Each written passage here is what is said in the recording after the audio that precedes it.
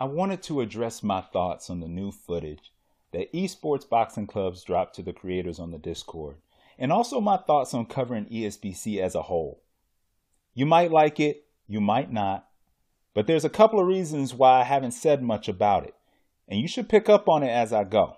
I'm going to address things in this order the gameplay footage, my thoughts on the pre alpha build that was provided, and my thoughts on ESBC and how I will be covering ESBC on my channel. Let's talk about it.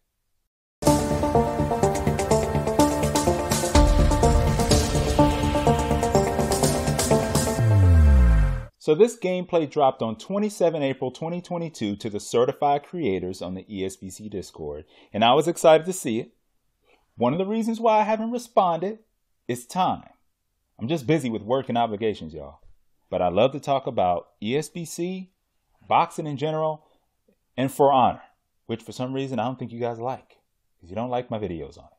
But anyway, so the first footage I saw was from Fanatico and his walkthrough. And since I'm not a creator in the ESBC Discord, I just grabbed some shots of what I saw him and others show just to accentuate any points that I have. Now I want to flash back for a second. And you remember when the the six creators they came back they put out their videos. We all jumped on it and listened to it. And they had some good things, some bad things, some okay things to say about the game, right? And things sounded promising. We didn't see any gameplay, but everything sounded promising. I, I like what I was hearing. I felt like ESBC is getting closer, you know, and even seeing this footage now, I don't feel any different. And that's part of the problem. But I'll say, like I said, I was happy to see what they actually got a chance to play. But I was so puzzled as to why they would even drop this for us all to take in. We heard about how good the game looks, and looking at this, it's all true. Character models look good down to the boots. Movement looks good, but we're still seeing the issues with the punches as expected, as was mentioned. I mentioned in one of my comments in one of Fanatico's posts, I can't remember which video it was, I mentioned that they don't need to slow up the punches for the players. Make those bad boys as real as possible based on the fighter's statistics and traits. When I look at that video, it is obvious the hitch in the fighter, and that's because of the animation, that you see when someone throws a power punch. And I really hope that gets smoothed out. I hope they speed that up. I hope they make that more smooth and more natural looking. Something that I think is getting overblown is the fighting within the gameplay. I saw comments of people complaining about the gameplay saying that's not boxing. We just got to remember that's not how all people are going to play. And isn't the point of ESBC to be inclusive and help grow the sport? You shouldn't have to be that knowledgeable of the sweet science to jump in and have fun. So we should be wary of our criticism when it comes to the style of play and focus on the particulars that will affect you. I have faith ESBC will be formed so someone that knows boxing should rarely lose to someone just spamming left and right hooks. So keep that in mind, y'all. It's impossible to gain a full grasp of all the aspects of this game with just these snippets of gameplay. We know as gamers and fans of the sport that we got to get our hands on the product, digest it, and then tear Steel City Interactive apart if we need to. But let's wait for that, all right? Let's wait and let's get it. But I feel some of you some of your your pain, I should say. I feel like we are all a part of a social experiment right now. I'm not going to lie. Because I can't think of any other reason to release the same pre-alpha build gameplay footage that has largely already been discussed if they were going to do this. They should have released the footage from when the creators played it and not this. It just doesn't make sense to me.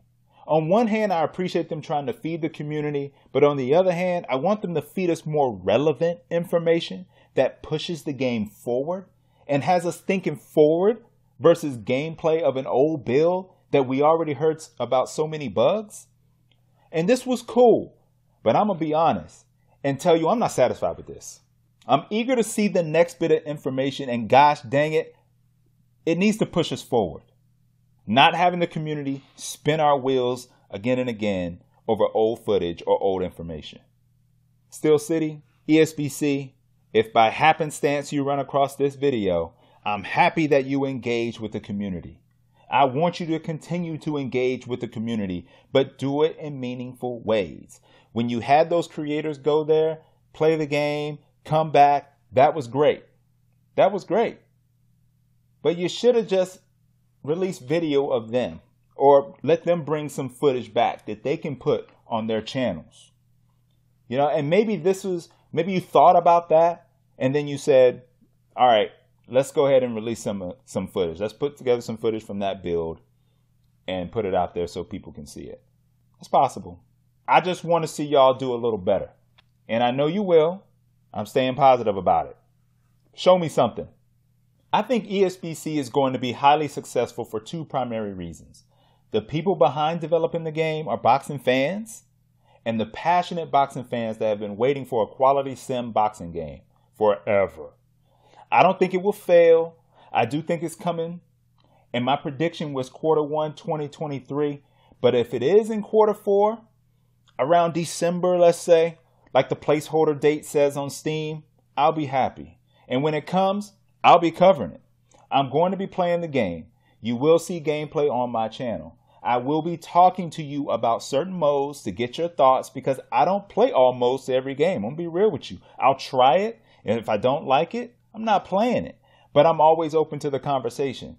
I hope to get some matches with y'all when it comes out, and I'll put those on my channel win, lose, or draw. I'll tell you, I'm not a pro gamer. I'm not a competitive player. When I say I'm not competitive, I mean I'm not competitive as, as far as a pro gamer competitive, but I do like to win. Losing is not fun to me. I will not be playing any of y'all until I know what the heck I'm doing. And so don't challenge me until you know what you're doing. We're going to have a lot of fun supporting this game, y'all. I already can see it. I can feel it. I'm hyped. I'm hyped. But in the interim, we shouldn't just accept and be okay with any information provided. I've mentioned before, if they went quiet, I'm cool with it as long as when you give us something, it's tangible. I look forward to gaming with y'all, and when ESBC team posts something, I'll have something to say. Might not be right away, but it will be coming. Until then, there are other games to play, and my favorite is still For Honor. So I'll be dropping plenty of those gameplay videos, along with normal boxing coverage videos, mostly the women's side, if you want to catch a game of For Honor with me, hit me up. That's all I have for this one. Bit of a rant, but I want to address this. Thank you all for watching and supporting this channel. Until next time, I'm out.